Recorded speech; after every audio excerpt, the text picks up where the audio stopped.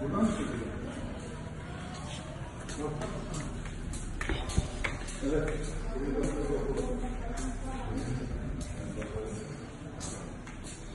嗯，是我困。苦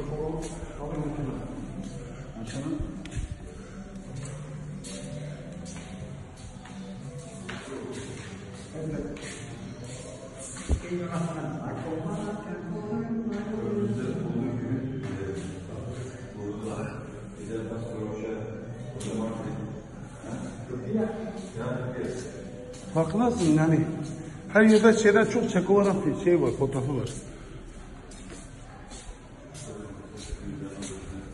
Gördüğünüz gibi burada, burada varsaydı. Fidel Castro. Laboratuvar fizik.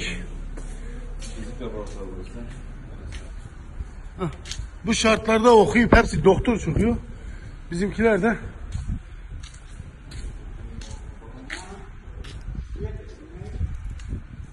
pues, bandera, himno nacional.